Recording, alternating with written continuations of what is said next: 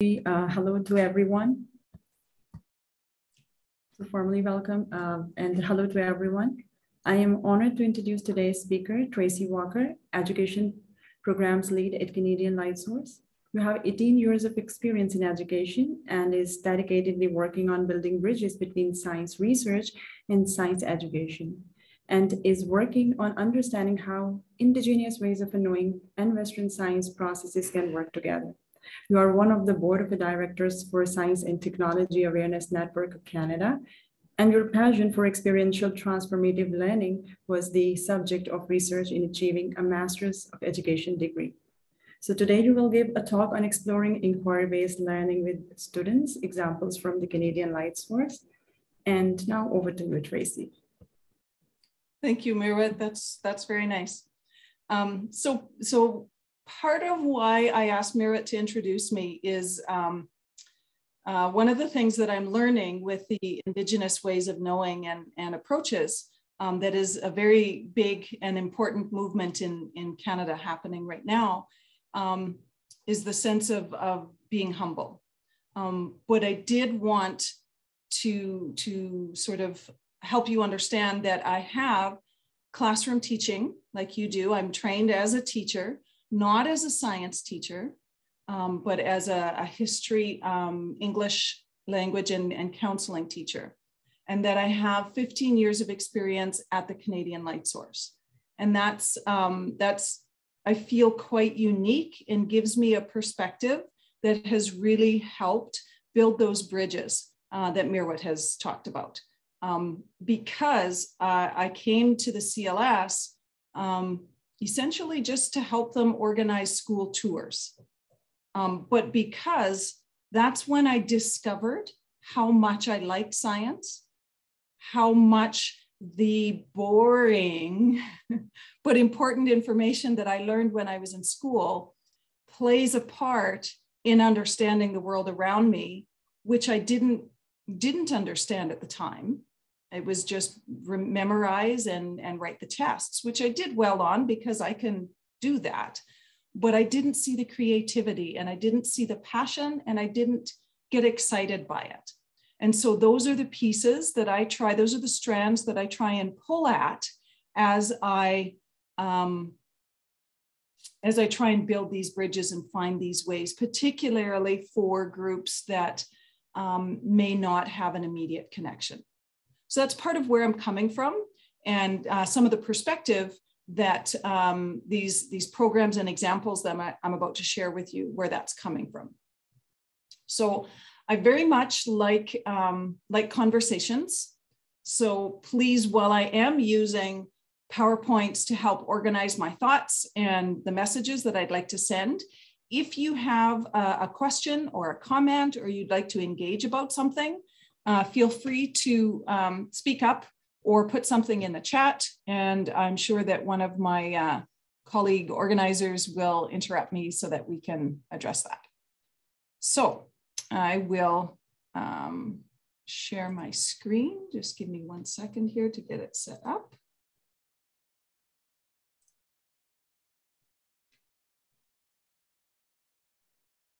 I'm almost ready. And if I did that well, you should be able to see my, excuse me, my presentation, yes? Yes, yes, we see. Okay, perfect. I'm not sure how to make sure that I keep that screen sharing thing out of the way. Okay, so education programs at the Canadian Light Source and um, sort of where we're coming from with that. So CLS, the perspective that, that we've taken um, is that we're creating opportunities and research both the machine that provides the, the light that we've been talking lots about this uh, during this workshop, um, but also the research that is done at it. Those are learning tools as far as I'm concerned. There is so much going on that it's a, it's a one-stop shopping extravaganza. You can find an example for almost anything. Our audience is you. Okay, we work with teachers. This happens to be a group, obviously pre-COVID days, Uh, this was when we were able to do uh, workshops in person. This is one of the groups that is standing near the beamline they're about to collect some data on, and I thought it would make a good picture. Um, so this is our primary audience that we work with. What our long-term goal is, is to try and, and influence the way science is taught um, so that it includes more more research examples, more inquiry-based learning, more of that, that really getting in, but for the students. We cannot talk to every student, so we will talk to, to as many teachers as we can so that they can talk to every student. And it really does make a difference um, when you can do things in person.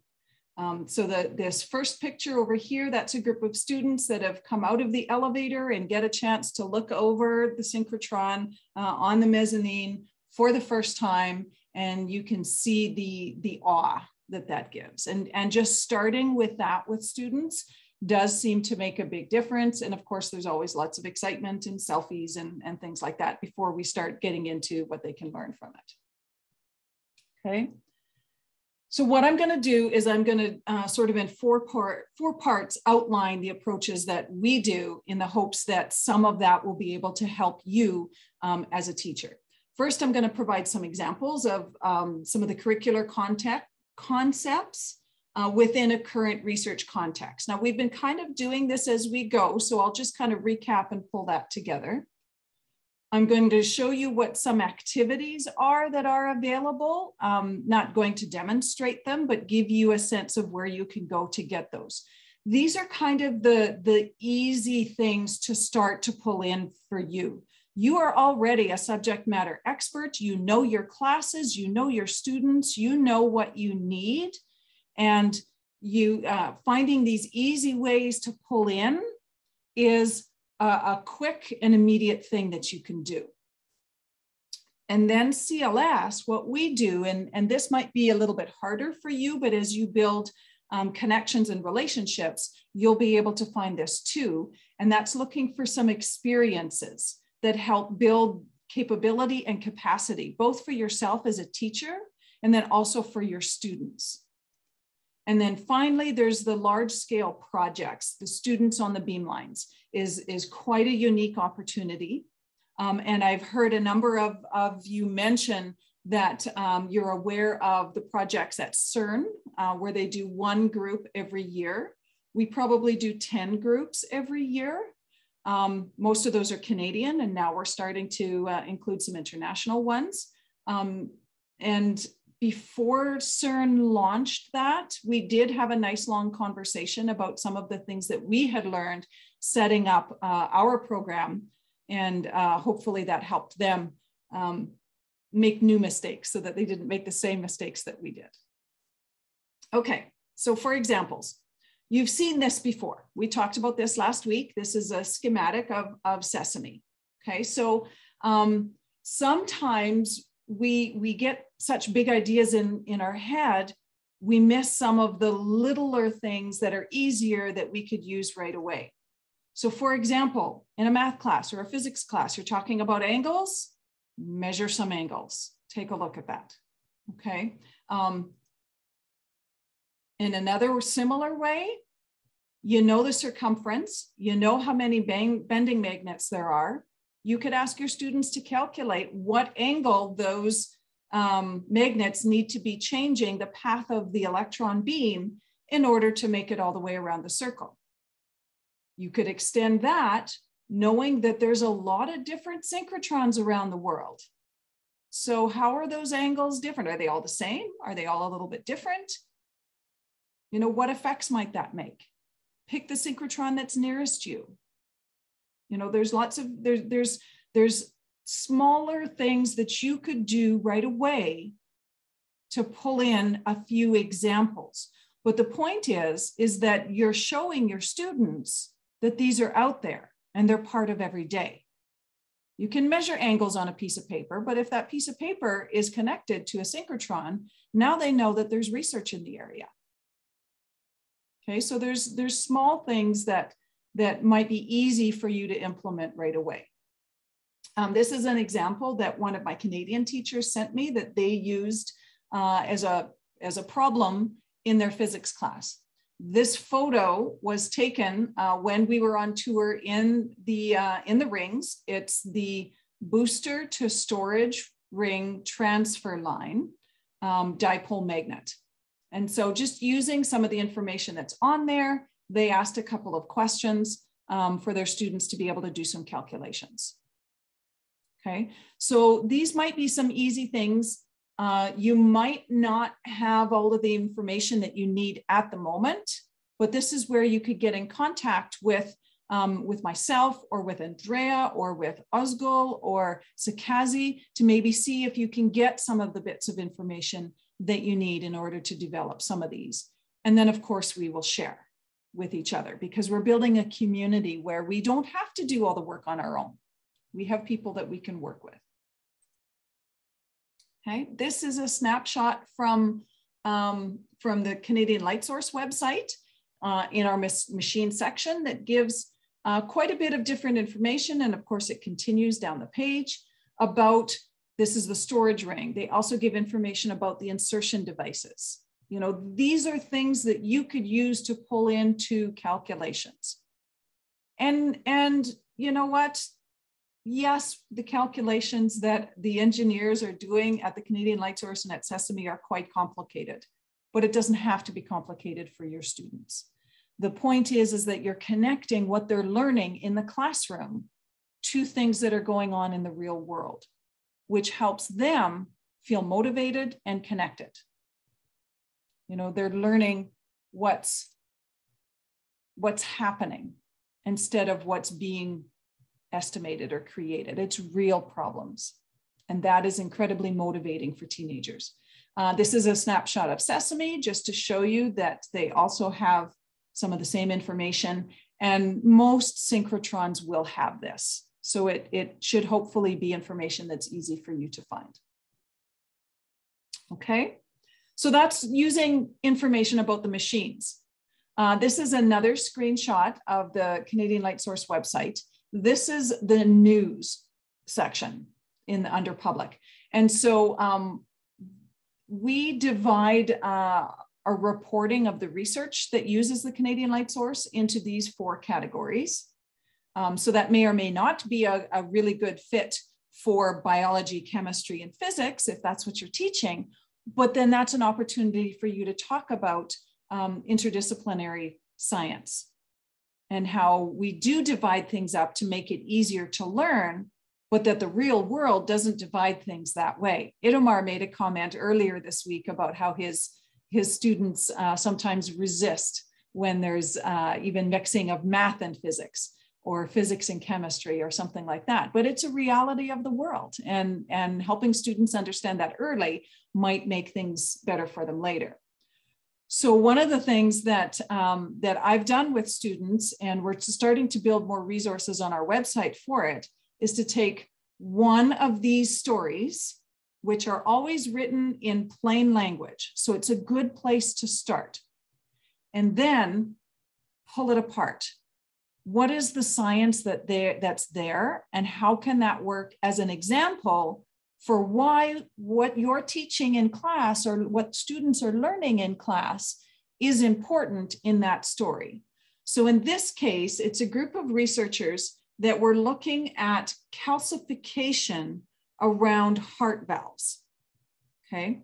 And so um, what they learned through it is because they wanted to, to better understand the minerals of that calcification as a way to continue to work on um, treatments and hopefully cures for the heart disease. What they discovered is that the, the minerals are different based on the gender of the patient.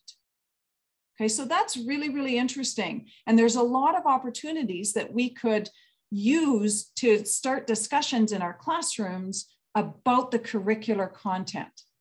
If you're teaching biology, heart disease itself, what is it? What's the, um, what are the pathways of the disease? Um, and the anatomy of the heart. Where does it happen? You then have the materials of the of the valves that are being replaced and pacemakers. There's a lot there that you could use. And yes, that's the content that they need to learn. But introducing it or showing how and why that content connects to everyday life is what helps the students. The mineralogy part of it brings in chemistry. Okay, why is calcium factoring into that? Calcification, what is it? What makes the minerals different? What is it bonding to? What are the other elements that are present? How do those bonds work? You can talk about a lot of chemistry without touching much of the biology at all. But it gives students a, a context for why understanding that calcium bonds to different things and under what conditions is meaningful. It's not just an equation that you write out and that you have to memorize. There's reasons for it. And then bringing in the society. Why is this important? Why is it that um, you don't understand how the disease develops in women, but you do in men? Why is it that all of the pictures on our website related to the research team are of women? Is this an all woman research team? Is it that's why ECLS chooses to present it? What might the reasons be behind that? Why are people thinking that way? You know, it opens up all kinds of conversations. And yes, it does take time. It really, really does. And that can be quite a challenge when you have a very full course load. But these are some of the critical thinking skills that we need our students to have. So, do you do it every time? Maybe not. But even doing it once might open up those opportunities for some very interesting questions for students to ask each other, to ask themselves, to ask you. Maybe you want to invite one of these people into your classroom virtually. Many researchers will do that. Okay, so that's one example. Um, I, I, actually tried to um, pull some of their data in um, so that we could make some stronger connections to um, to that kind of content material, but it was behind a paywall. And so I would break um, copyright in order to do that. So I decided not to do that. Um, and so you may find some issues that way when you do try and make some connections like this. Um, so I encourage you to reach out to those scientists because they can share some images with you that you might not be able to use um, or find on Google. So but all of these I found either on our website or freely on Google. And so I know that you can, uh, that you can find some things that would be helpful. Okay, so moving along, um, I stole this slide from my science director, so the CLS equivalent of Andrea, um, just to show you how many different areas from one synchrotron alone you could pull some research examples um, to connect to the work that you're doing. Whether you're teaching um, biology, physics, chemistry, math, um, engineering concepts, any of those. There will be examples there for you to use. Um, I see there's something in the chat. Is that for me? They're appreciating your presentation. Oh, so okay. that, that's great. Okay, well, thank you. okay, yes, feel free to interrupt me if there is a question or something that captures your attention that you'd like to make a comment on. Um, I, I believe that I deliberately left some space for comments, so um, it's okay to do so. Okay, um, so that was the examples. And so now I'm gonna share um, activities, not so much the activities themselves, because that in itself takes time, but where you can look to find some activities. Okay, so easiest one is the one we talked about last week, um, is the Salad Bowl Accelerator um, that uh, is available online, and I did share that link. Um, and there's lots of activities like that. Sometimes it requires um, uh, a little bit of equipment, but not always.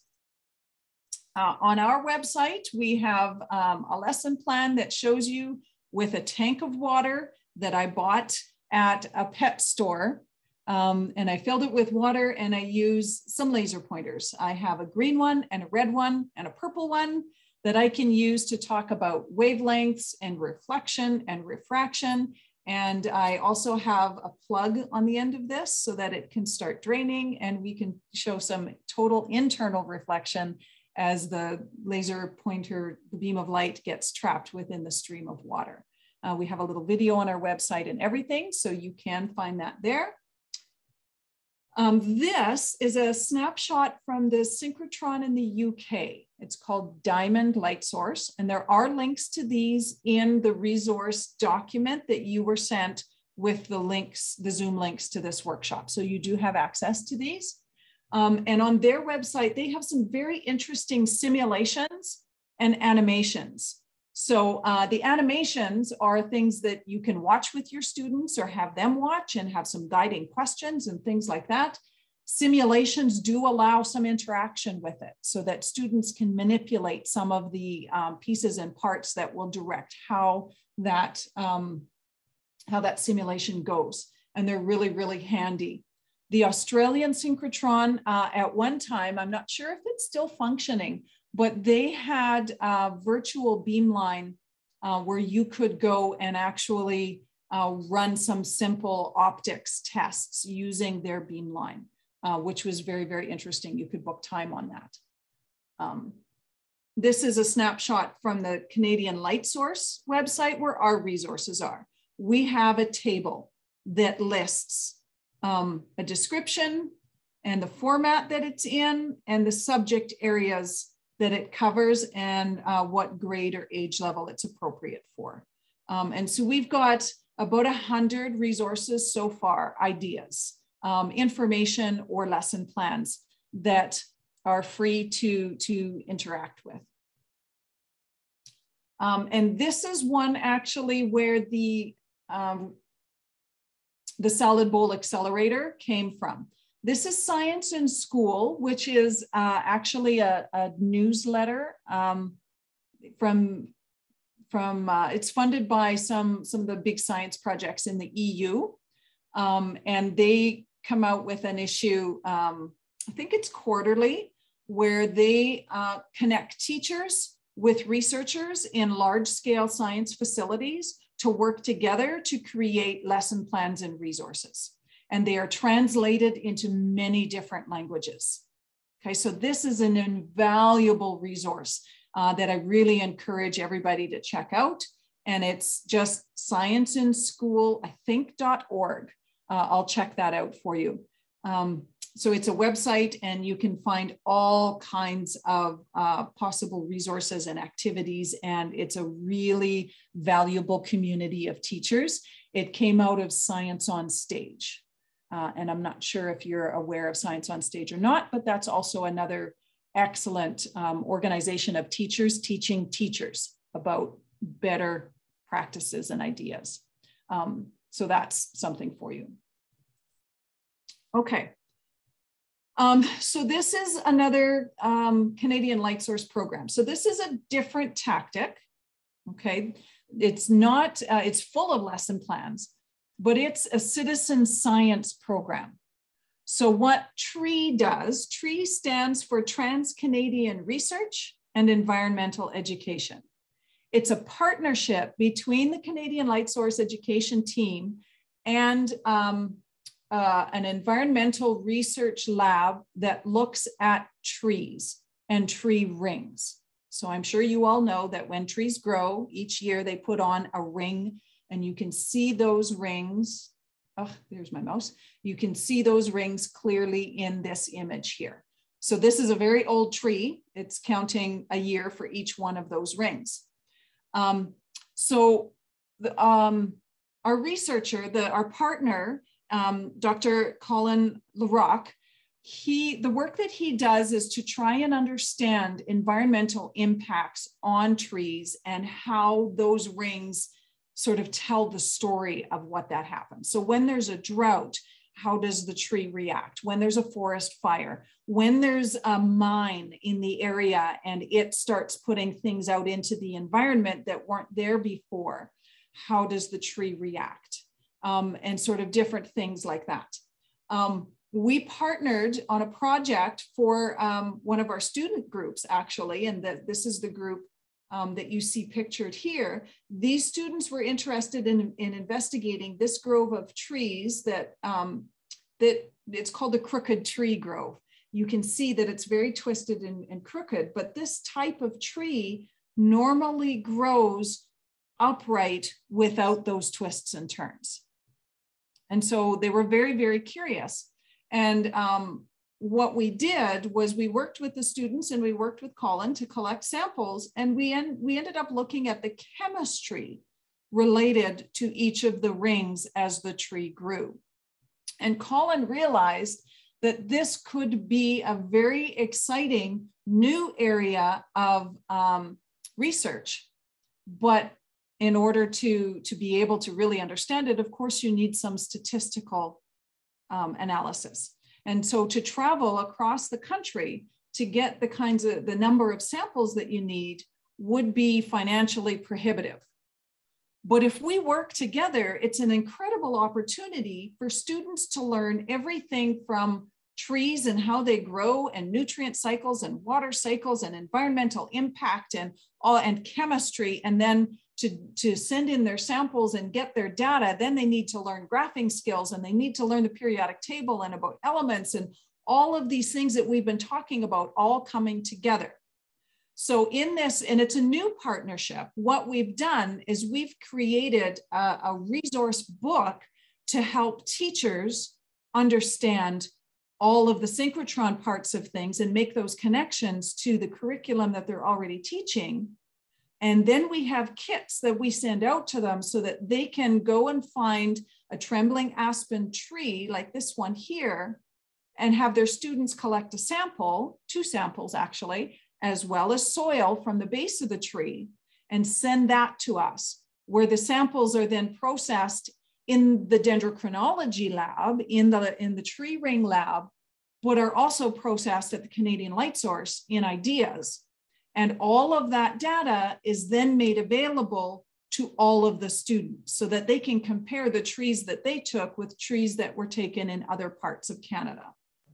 I have a question, can, please. Yes, Carlos, please go uh, ahead. Yeah, exactly. Uh, there exists the possibility that the student visit the see uh, the Canadian light source in order to see uh, how the, the technician or the scientist make the the experiment uh, with this program, we, we have not included visits with it because our hope is that we will be able to grow this program so that we're doing um, anywhere from 50 to 100 samples. And we certainly don't have funding for that kind of um, travel. Canada is a very big country uh, and it's, it's cost prohibitive. But we do um, a virtual connection with them if they want to, where we can show them some of those things. And if, if they live in the area, then yes, sometimes they've been able to come and visit. And as you can see, of course, you know, we started locally because we had to learn whether or not would work. And, and we've learned a lot through this, um, but we are starting to expand out. Um, part of the exciting thing is that this is some of the, the data that we get. Could be, but could be possible if, if we have uh, funding to go and visit a couple of hours in order to see, I mean, the students, in order to see the, the experiment. Um, yeah, there's a, keep listening. There's some other ways too. So if you're talking about students from, from your, from where you are, then mm-hmm. that's, mm -hmm. yeah, let's, let's talk about it. And when COVID is over, let's cross all of, of our fingers, then I we understand. might be able to, to do things like that. Yeah. Great, thank you. Yep. So um, this is the kind of data that we get. So across the bottom is the data that, um, that the dendrochronology lab is able to provide. So um, this is their growth rate. So the higher the, the peak, the more that tree grew in that year. And then each of these is measuring um, the element in, in each of those rings as well. So based on this, you can see that something happened around 2003, 2004, where we have a very big increase in a number of these metals. And so the other part that the students that are participating do is they're asked to create a timeline of events that happened in the area where the tree grew. Okay, when were the drought years? When were the flood years? When would, might there have been an infestation of an insect? Um, what were some of the human activities in the area? You know, was there a mine site that opened? Was there an oil refinery that was built nearby? Or that had um, a change in how their environmental activities were working. You know, there's so many different things that are possible. Um, and, and so it's up that that requires the students to really dig into what's happening in their own community where they've gone to collect these samples and start to connect those human activities or those environmental activities with the effects on the tree. Okay, so, so this is what this program is, is about, and I'm really, really excited about it. Um, I'll be honest, we've seen a significant decline in participation since COVID has started. Um, and I think that it's much like what we talked about at the beginning of this call. There is so much pressure on teachers. They don't have the ground isn't solid that they're standing on. They don't know whether they're going to be in the classroom with their students or virtual, and planning to go and collect samples is just something that is too hard to do right now. Um, but I'm, I'm very hopeful that we'll be able to pick this back up again. So uh, they're asked to collect always from the same tree. And so um, anticipating questions from international, can, can that be part, um, can you participate? Uh, I, I'm going to talk to Colin. The first thing we'd have to find out is if trembling aspen is a tree um, that grows where you are, or if there's another tree that might be of interest. And then we need to talk about import permits. So crossing borders, there are potential issues, but in theory, if we can address those things, then yes, this program could be available internationally as well and might be a nice introduction. Um, also, and Ozgul, uh, I'm hoping that you are thinking of the same thing I was. There might be synchrotrons closer to you that might be interested in a program like this. We, uh, we, this is a very simple, simple experiment as far as um, synchrotrons are concerned. Really, they are. And it doesn't take long to collect this data. Um, so maybe it can become a bigger collaboration, which could be very interesting. Because I'm, I'm quite sure that trembling aspen does grow um, at least through Europe, but I'm not sure about that. Okay, so there's some examples of um, curricular connections you can make and then activities that you might be able to engage in. Now let's talk about some of the experiences that we provide. And so Carlos, this is where, um, where we do intentionally bring students in to have an experience. Okay, so one thing that I, I do want to mention is that while we use the synchrotron for our experiences, because I work at the synchrotron, it isn't just synchrotrons that can develop these experiences. You know any research lab at a university at an r&d department for a company could do this if they wanted to so if you know of companies or universities or professors or researchers that might be interested talk to them. If it helps to connect with me as well i'm happy to talk to scientists to tell them this is exciting and fun. We can do this. Okay. So I already talked to you about, you know, when students get to come in and see it, it's like Carlos keeps asking, can we come see it? Can we come see it? Because it really does make a difference for those students. Okay. So these are photos obviously taken before COVID, just to make sure that everybody understands. That's why there's no masks and that's why they're, they're close together. So they get to see things. This is, they're on the floor. This is just outside the IDEAS beamline this is our safety, one of our safety people who is showing them, um, I think it's some dinosaur bones, to be honest, is what she's showing them um, that a researcher had brought in. So they're pretty excited.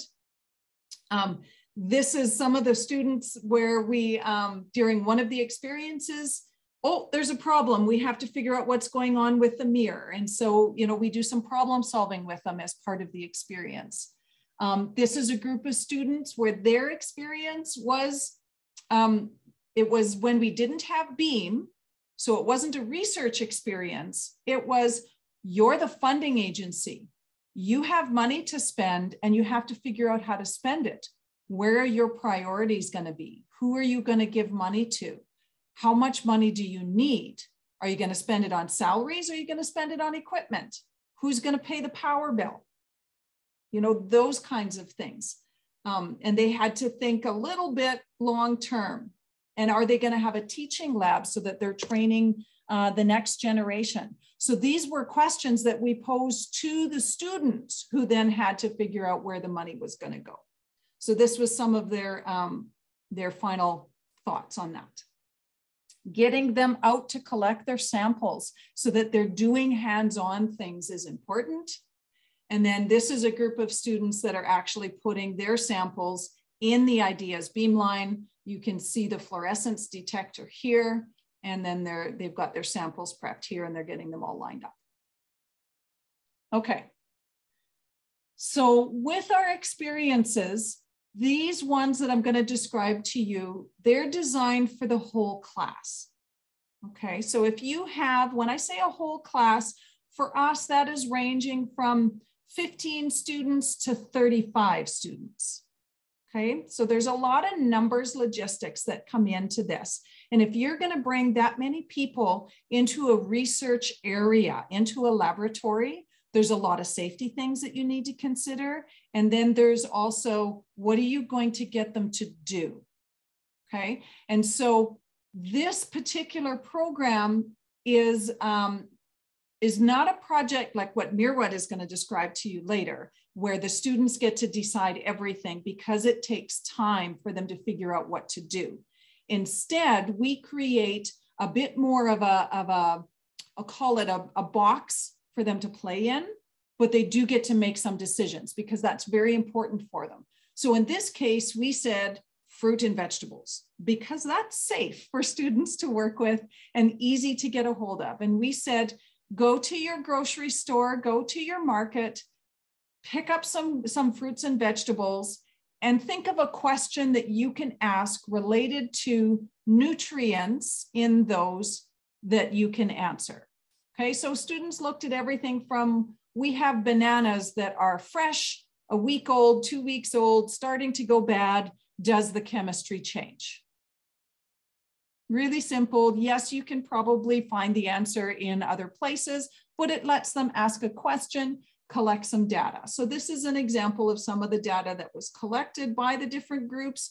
You can see that they're the ones making the samples. They get their tour. They talk to lots of different people while they're on tour about their um, their careers. You know, it's it's a rich learning environment that we can have larger groups in, but still make sure that everything is safe um, for the students, for the equipment, and for everybody involved. We do the same thing with soil. Okay, because again, it's pretty safe to go play in the dirt. Um, and students can create their own questions. So we had groups that, that did everything from, um, we have a lake in the middle of our town. And so they walked out into the lake and took their first soil sample from in the water and then at the edge of the water and then back from the lake and then back further and further every 10 meters or so uh, in order to try and understand does the chemistry change as they walk back like that. Okay, so there's lots of different questions that students can ask knowing that they're going to be collecting soil. Where do they want to collect it from? And how, how can they understand chemistry better? And then they have to read these graphs and they have to identify the elements that are present and they have to understand the safety. And they get to visit our, um, our control room. And so they have to learn a little bit about how the facility works. And it's just a very rich learning environment with all of this. So this is what I mean when I when I talk about an experience um, at, at our facility. Okay, and now of course, all of this is being offered virtual. Okay, so um, these are a few examples. This was uh, virtual beam time where their samples are in there. Um, doesn't look like these are your samples, Mirwet. Looks like it's somebody else's, but um, So, so this is setting it up. This is a tour looking at a beamline. You can see the students that are, are watching. They were um, some at home, some together. This is our science director, um, Gianluigi, who is giving the tour. Um, we have a career corner where we have videos and interviews where students can hear directly from lots of different people at our facility. Um, and this is um, us talking about one of the experiences at a different workshop that we gave, and you might recognize a couple of the faces on that screen. As a matter of fact, I think Itamar's in exactly the same pose. yeah, that's you. okay. So that's what I mean when I say experiences. Yes, you bring them in. Yes, you give them some, some really important for their learning things to do. Um, relatively simple from a science perspective, but really rich learning. Okay. Where all this started though was at the at the deep end. We started all of these programs with students on the beamlines. We started because a physics teacher whose husband was the beamline scientist asked if we could do something more hands-on and here we are. we do things more hands-on. That was more than 15 years ago, and uh, and so students on the beamlines really is a rather unique opportunity. Um, there's there's lots of synchrotrons around the world do education programs, and they do different things with their students. Um, but students on the beamlines where it is completely student driven is um, quite unique in my understanding. So I'm going to now move into that a little bit. Okay, so the cornerstone philosophies, these are the things that we've learned over the years are the most important things for student and remember teacher learning.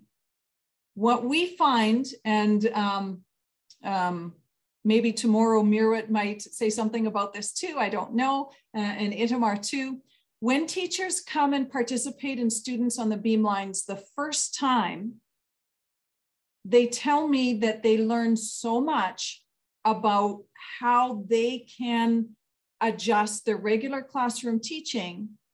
And then when they come a second time, they do things quite differently. That's what I tend to see. And so, in watching that process over and over again, these are the philosophies that we found provide the most rich learning for both the teachers and for the students. Okay, it's got to be student driven.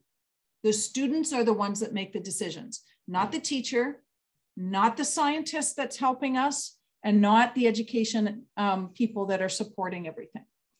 Now, safety always has to come first. And of course, the adults will determine if something is not safe, we will not let it happen. But aside from that, the students are the decision makers. So sometimes that means that they might choose to do something that we're not sure is going to work, or that we're pretty sure they will learn not to do that. But that's okay, because then they will learn it. And it's a very rich experience. We advise them, but they have the choice on how they want to go through it. It is not a demonstration, not for students on the beamlines. There has to be potential to get new information on whatever they're looking at. Okay, we might have a really good guess, but if we can find it in a peer-reviewed article, in you know something else, then we give them that information. And so, okay, now use this to refine your question. It's the same process that scientists go through. It's got to be collaborative. The students are working with experts, with scientists, and with staff and they learn to work collaboratively and they reach out to the experts. And it is research based. They are immersed in the scientific process. And then, and this is where um, we actually spend a lot of time coaching the scientists that work with these school groups and coaching the teachers because it's a balance between educational learning goals and scientific goals. And the reason why I bring that up is because typically a beamline scientist um, part of their job and their role, what they're trying to do is to help the researcher get the very best data that they possibly can. Not that they learn how to collect the data necessarily, but that they get publishable quality data. That is their goal. And so sometimes they will do things for the research group or they will provide information or they will you know just tell them no no do it like this. Here's what you need to know. And so we ask them not to do those things the same way when they're working with an education group because the learning is also part of the goal. And so take some time for students to be able to sort through that problem and come to their own conclusion you know it might mean that we don't get through all the samples but that's okay because the students have probably planned to do too many samples anyway, and, and that's normal. So these are some of the, the background philosophies that um, are often part of the everyday that researchers don't think about, but they're there. And we're now bringing them into the education setting. So these are some of the, the background that we're thinking about. Okay, so the goals the strategies to achieve these goals. And here's more um, pictures of, of students in action. Um, it is a research simulation, okay? It is experiential. So the students are the ones getting the experience in the research. The teachers are getting the experience in the inquiry-based teaching and learning. Okay. Uh, we had one student, um, it was really, really interesting. We've now seen some of the students that have participated in these programs start to come back as mentors, where they're now in university or finishing university and they want to give back. And when they come back as a mentor and they're, they're talking to us, they see these programs in a completely different light. The first one that did that, he said, you know, Tracy, when I came through the first time as a student, I thought it was all about the science. It was all about the science and the research that we're doing. But now I see it's all about the learning. And so it was, it was really very interesting to have that. Um, this fellow, by the way, is uh, he's finished off his education degree um, and he has been um, the, the student representative to our Teachers Federation in the province for the last couple of years. Um, so he's really having an impact on, um, on teaching and learning in our province. Okay, so we try and give the students as close to an authentic and real scientific process as possible. That's our goal. The focus is on the process, not the product. Okay, if you don't get publishable quality data, meh. If you learn lots about the research process, that's what we want. Okay, because these teachers are going to go on and keep teaching.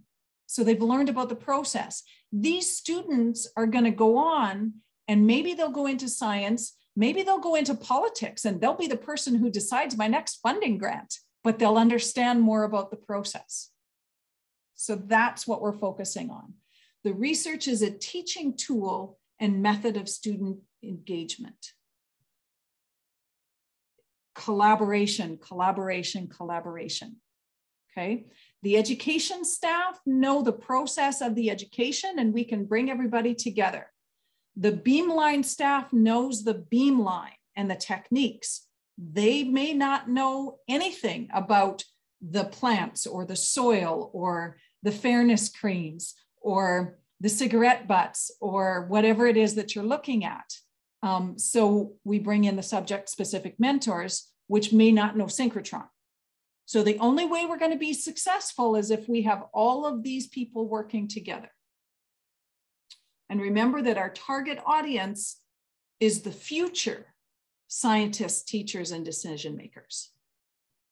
Okay, so it really is an investment. It's an investment of time effort, energy, and money in the future. Okay, so a couple of case studies. What do we actually do? Um, this is a group of, of students who um, They were actually inspired by a media story about a researcher who is using orange peels to remediate and reclaim wastewater, um, particularly looking at metals like arsenic and selenium. Um, and this researcher happened to be from uh, Australia, Justin Chalker. And so uh, it took us a while, but we convinced the students to reach out to him by email to see if he'd be willing to do a virtual call. And this is long before COVID um, to talk to them about his research and help them understand what was going on. Well, he was so excited um, explaining about. He's got a, a, a polymer um, that was that that is comes from canola, which is a, a grain. Um, it's sulfur based, and he was trying to pull nickel out of it. But he thought there might be other possibilities, and he was so excited that the students could work with a synchrotron to do this because he had applied for time at the Australian synchrotron and was not successful. Okay, so what he agreed to do is that he worked with the students and with us. He sent um, he sent material. He sent some of this um, polymer to the students, and they decided to to look specifically at, um, if I remember correctly, Um, I'm sorry, I don't remember exactly which element they decided to take a look at. Um, but they did do both um, fluorescence and they did some XANES work to try and identify speciation. And so they worked with him, but they posed the question. He helped them understand nickel, the question. nickel? Yeah, I think so. I think it was nickel to begin with. Um, and they found um, they found some really good information, so much so that um, not only did he acknowledge them and their work in his publications and in his uh, application for a patent, he also continued to work with this group. Some of the students graduated, but others joined in. And the next year, they, they looked again at selenium. And so he was actually treating them as an arm of his research team where he was doing work in Australia, they were doing work in Canada, and they were sharing information back and forth. Um, so it was, it was a really, really rich learning experience. And this young lady right here, this is kind of a interesting personal bit.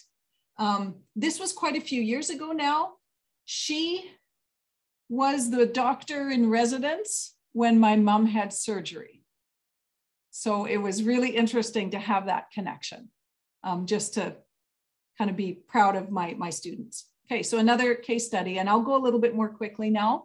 Um, this was a group of, of all girls that um, came to CLS. They were interested in this deep sea fish, okay? And they had opportunity to work on two beam lines.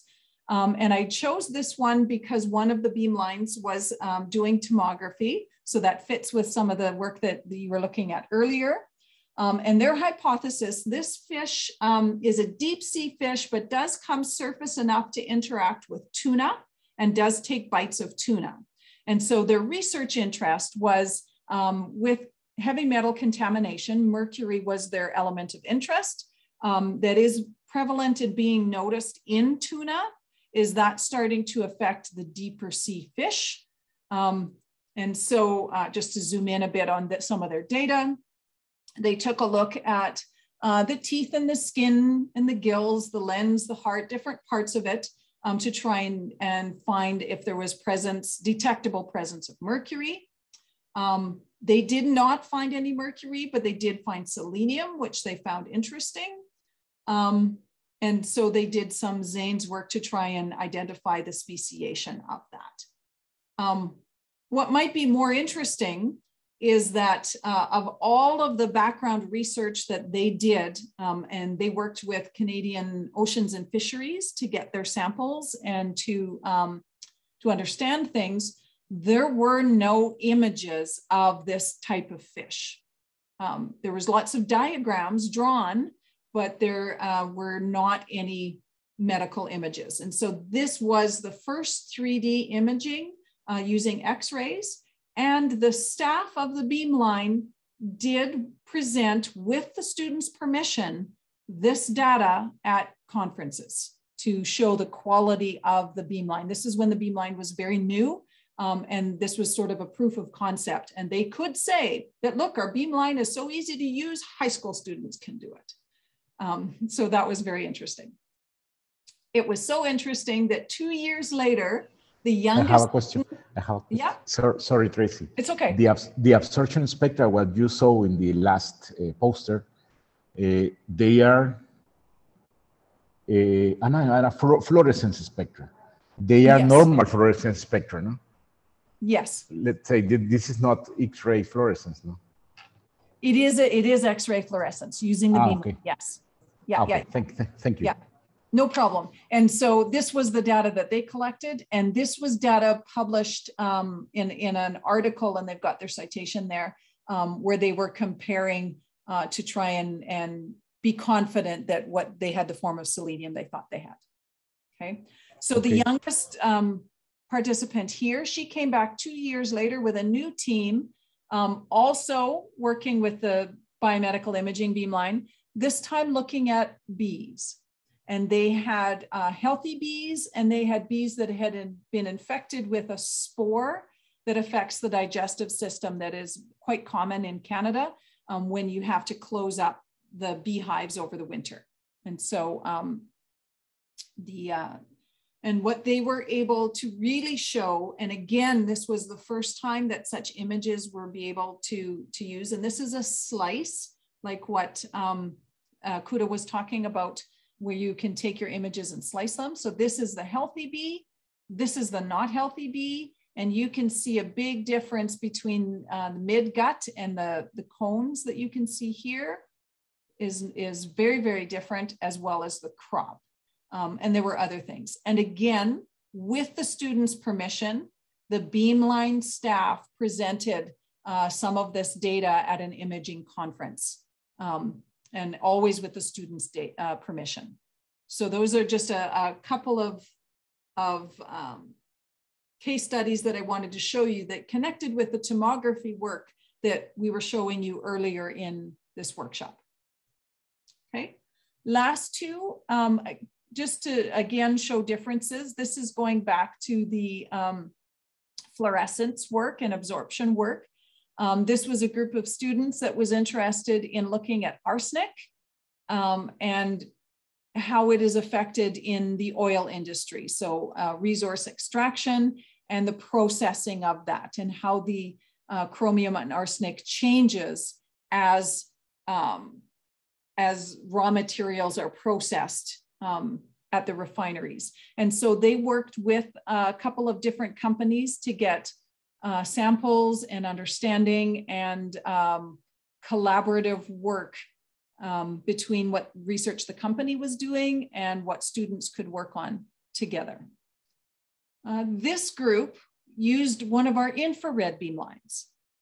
And uh, what they were looking at was the, um, the spectacle scale. So snakes um, don't have eyelids. They have a special translucent scale that goes over their eyes to protect them. And it is, of course, different than um, the scales that are found elsewhere or the skin elsewhere. And so um, they were they were investigating some of the differences between them um, and looking, doing some mapping and sort of identifying some of the differences there. Okay. So, in a nutshell, the programs that we offer, we started with students on the beamlines that's designed, it's project oriented. Each group is unique. It's a small group. The um, 15 is large. Um, anywhere from probably five to 15 is, is workable. Um, it's a long-term project. So anywhere from several months to a couple of years and it's in-depth research. We have the experiences, which are much broader. It's designed for, for large participation from a full class. It's standardized experiments or activities related to science and society. Um, we can work with soil, fruit, vegetables. We can work with crop seeds. Um, and berries as they grow in the wild, which is which was developed specifically with an indigenous focus. Um, with more societal things, there's the funding decisions that I talked to you about, and we're working on one related to climate change that's still in development. We also have other programs that are designed uh, with and for Indigenous communities where traditional knowledge keepers and elders are the, the mentors and advisors. Um, although we, we do bring in some mainstream science, that is the knowledge that we're working with on those. Um, and, and so that's something new that's under development. And it can be either an experience or a project, depending on what the capability and capacity is of those student groups. There's Tree that I talked to you about, where it's, it's citizen science. They get students get to participate in a large scale research program. and then there's the uh, connections and resources that, that we have available, but I really would like to extend an invitation to all of you. If you would like to put something together and you're willing to share that with us, we can then make it available for others. Um, and that's really where uh, I really like collaboration in case you haven't picked up on that. I like working with people and, and I like, I feel that we're stronger together and we can do so much more when we work together. But remember that these programs are for the teachers. And, and we know that teachers are for students. So it, it is for the students, but we're working for the teachers to help them. Okay, I'm winding down now, although I could talk forever on this. So if you look at this through the eyes of our learners, what do they tell us?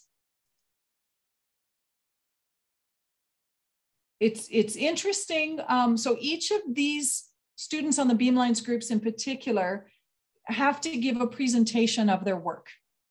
Okay, we ask for that. Um, and that's really hard for them to do. And they're very nervous because they're presenting science to scientists. Um, and so we need to help them understand that they are the experts in their own project. So, so be confident. But when we ask them in the end, what are the things that you really learned that you'll take with you? They don't talk to us about chemistry, about the periodic table, about optics and light and synchrotrons. They talk to us about things like how it changes their view of who scientists are and what they do. They talk to us about things like how important it is to have good teamwork, communication, perseverance. Go ahead, Yester.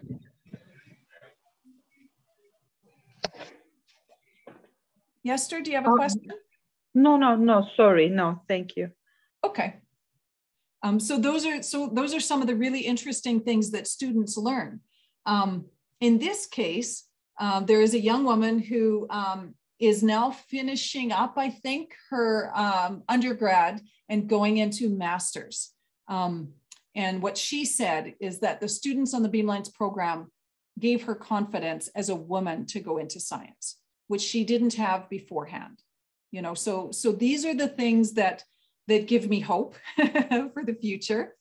Um, and then in this case about the tree pro project um, is, is, is that you're really asking the trees to tell their own stories um, and how, you know, what's happening environmentally. And then finally, this was a comment from a teacher um, saying that this, this program, and in this case, they were talking about, um, about students on the beamlines. Um, it not only educates teens about research, but it will inspire them to fall in love with research. And that was one of, one of the teachers commented. Um, so finally, some of the impacts. And the biggest impact, I think, is that the enthusiasm is contagious, right? And, and so sometimes when, when we're feeling a little bit down because we're working really hard and we're not sure if it's doing what we hope that it will do. Uh, and you can get involved in programs like this where students get to play science and learn in the process. Um, that enthusiasm really, really is uh, contagious and it does spread. Um, So thank you. And I hope that this droplet expands with ripples in, uh, in your world. So, Thank you very much. Thank you very much. well, you are very welcome. Thank, you for you. the wonderful presentation and amazing insights to these uh, programs. And I hope that teachers would have get an idea of connecting synchrotron science to their classroom. Thank you, Tracy. So do we have questions? I have one. Go ahead, Carlos. Yeah. Uh, Tracy, thank you very much for the wonderful presentation and all the information you gave us today. Uh, the question is the following, uh, as following. Uh, in this uh, program, project in a beamline, on, uh, you uh, showed uh, examples with university students, no? No, Most of them, most of, they No. were, they were high school? They were all high school students at the time that they were participating. Okay, because I, I was, I was, I, students. I was thinking about uh, in my program, the IB program here, there is a kind of extended essay what the student uh, must present at the end of the program in the baccalaureate.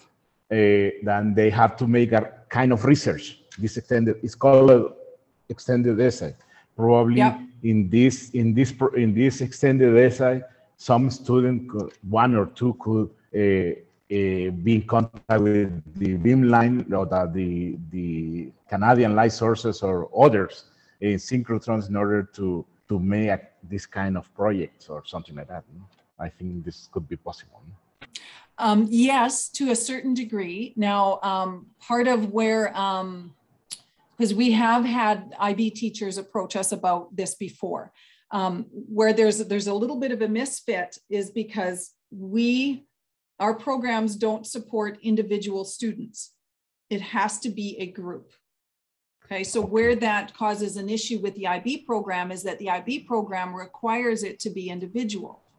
And so where I can see a fit is if um, if a couple of IB students were leading a group that was a bit more, could do a project, but they pull out specific information that is for them. Um, but but a larger group of students gets to, to participate. Now that's our programs at the Canadian Light Source. Other synchrotrons do things quite differently. Oh, must be at least 15 students, you said. Uh, no, at least five. Ah, at least five. That's good. Yeah, it Okay. can be as big as 15. I, I don't suggest any bigger than that unless we have some very specific parameters around it. Oh, but with five, we can organize something like that if they are still interested, interested in Yeah. this thing. Yeah, Yeah. great. And then, and, and yeah, so the other piece is remember that um, I've always said that our, our target audience is primarily the teachers. If you're interested in trying to see if you can do um, a students on the Beamlines project like Mirwet and Itamar are, um, there is additional training that we would want to do with you before we would start with that. Okay. Um, this workshop gives you a basis, but there's more we would want you to know and to understand. Um, if you're interested in doing one of those experiences, that you don't need additional training for. Okay, and as I've told you, we can do those virtually. So we can think about starting with something along those lines. And uh, Massey also participated in one of those. Um, so, so she can maybe speak to that and if that was helpful. Good, but uh, one and point of uh, that point I want to mention, uh, my my own class students uh, really don't speak English and understand English. Mm, Then I have to select students in different schools that they can could speak English and uh, talk about and challenge with English uh, language. It- It's just my uh, point. Yeah, and that's a really, really important point because I only speak English and I have great admiration for people who speak more than one language. So, to all of you that are here, thank you so much. Um, my hope is that by working with um, other synchrotrons like Sesame and, and things like that, um, that this can happen in other languages as well. You know, that maybe in, in Sesame, there can be someone who is leading some kind of experience that is in the language that your students understand. Are there any other questions?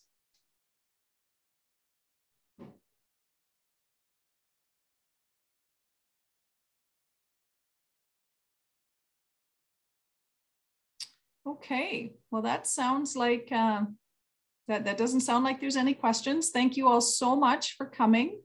Um, and thank you, Mirwet, for that lovely introduction and, and um, for contributions from people. That's great. Um, I will not be here um,